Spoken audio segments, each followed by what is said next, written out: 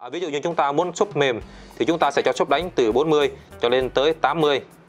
Còn nếu như chúng ta muốn súp ta đánh lực hơn hoặc cứng tiếng một chút gọi là theo nhu cầu nghe của chúng ta chúng ta sẽ sử dụng từ 40 cho lên tới 100.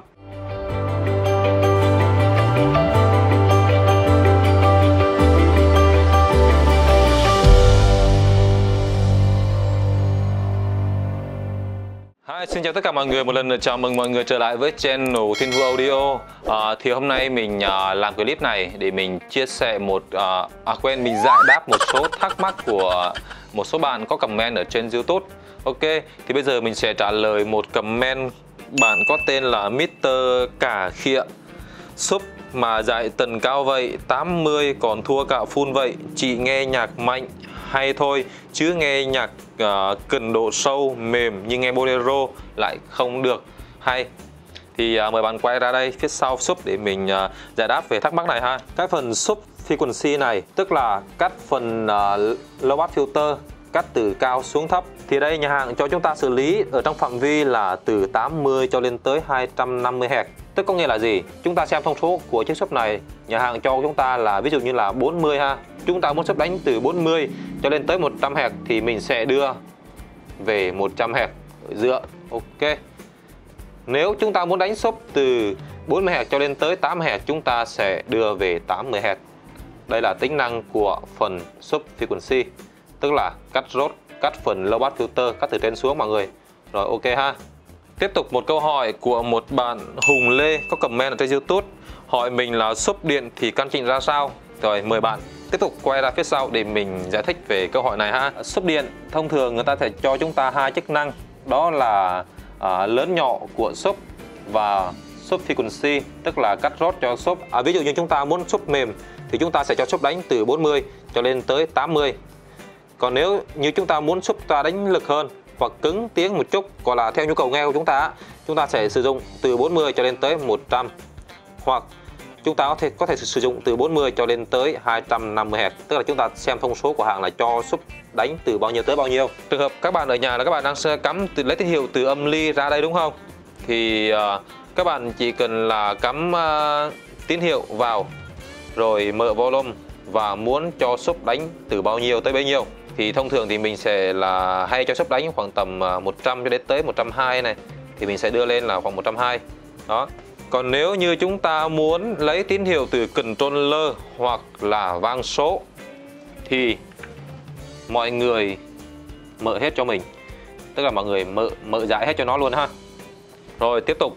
Sau đó mọi người sẽ xử lý ở trên controller hoặc vang số. Thì, thì hiện tại bây giờ mình đang sử dụng ở trên vang số ha. Thì đây là mình sẽ cho sấp đánh từ là 40 hạt đây là 40 hạt cho lên tới là 125 hạt hay là 100 hạt là tùy mọi người, tùy cách setup. Và tùy cái gu nghe của từng người. Vì sao ở phần sub này mình phải mở hết? Là vì mình có sử dụng vang số để mình cắt sub cho nên là mình sẽ mở hết ra, rồi mình cắt ở trên này.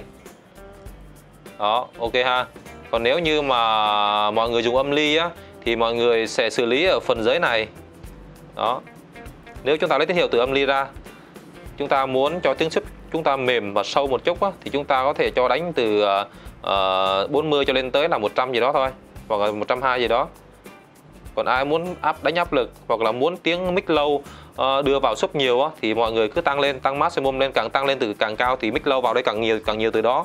Tiếng mic rồi là à, tiếng ca này kia nó sẽ vào đây. Ok và tiếp theo thì mình sẽ trả lời một comment của bạn Ngô Phong là cách tính thế nào để biết sub vào full ra bao nhiêu mét. Ok thì bây giờ mình sẽ à, trả lời câu hỏi của bạn và cũng là chia sẻ để mọi người chúng ta cùng nắm luôn. Khi mà chúng ta đặt sub ở đây thì ví dụ như mình đang đặt sub ở đây ha và loa full ở đây, thì nó đã song song bằng nhau rồi. Nhưng chúng ta cũng phải đi lấy sub vì sao? Vì bước sóng của loa full dài hơn, cho nên tốc độ của âm thanh đến tai chúng ta sẽ nhanh hơn. Và khi mình sử dụng smart để mà đo đạc, quốc tế người ta cũng đã đo đạc, thì khi đặt sub song song như vậy thì cũng phải đi lấy sub là 2.9 tương đương với 1 mét và chúng ta dùng con số để đo, giống như hôm bữa mình có tính với mọi người. Và bây giờ ví dụ như mình đặt chiếc xốp ở đây và chiếc loa phun ở đó, thì mình đang đo dựa phun tới xốp là bao nhiêu? Là một mét, mình đang đo đó là một mét. Thì tiếp tục chúng ta sẽ cộng. Chúng ta cộng một mét và cộng với một mét của lúc này mình đã nói là khi đặt xốp song song á, là thành 2 mét. Rồi chúng ta tính chúng ta nhân với cái con số mà hôm bữa mình có nói đó nhân chia với con số hôm bữa mình có nói đó thì chúng ta sẽ ra được con số mà chúng ta cần delay là bao nhiêu. Rồi ok. Tiếp tục nữa là khi xúc đặt sau loa full 1 mét bước sóng của xúc sẽ là dài hơn. Cho nên uh, tốc độ âm thanh tới ta chúng ta sẽ nhanh hơn thì chúng ta sẽ không cần delay. Trường hợp khi mà loa full chúng ta treo ở tút trên kia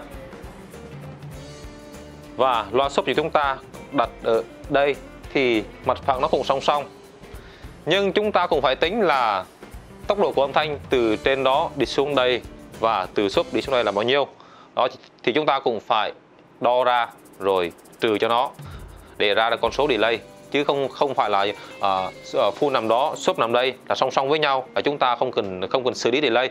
Hoặc chúng ta là chỉ kéo delay là một mét không phải như vậy mọi người ha. Ok, thì đây là những cái à, phương pháp mà để chúng ta sử dụng tiện lợi cho vấn đề gia đình, như bộ già gia đình. Trường hợp khi chúng ta không có máy móc để chúng ta đo thì chúng ta dùng những con số này để chúng ta tính toán. Nó sẽ đáp ứng được một mức độ nào đó chính xác. Còn vấn đề mà để cho hoàn hảo hay hơn nữa thì tất nhiên là các bạn kỹ thuật viên người ta sẽ chuyên nghiệp hơn người ta sẽ dùng máy móc người ta đo này kia thì chắc chắn nó sẽ là hơn rồi nó sẽ độ chính xác nó sẽ cao hơn rất là nhiều rồi. Đó, ok thì xin chào tất cả mọi người và hẹn gặp lại mọi người trong một clip tiếp theo. Thì nếu mọi người thấy uh, clip ý nghĩa hay và ok thì cho mình một like share và subscribe để mình uh, có thêm động lực rồi làm thêm những clip hay hơn để chúng ta học hỏi lẫn nhau và chia sẻ cho nhau trong cuộc sống. Xin chào mọi người.